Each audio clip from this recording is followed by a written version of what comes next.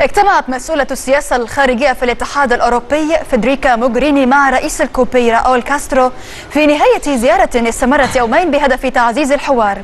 وبث التلفزيون الرسمي مقطعا من الاجتماع الذي تناول العلاقات الجيدة بين الاتحاد الأوروبي وكوبا وقضايا دولية.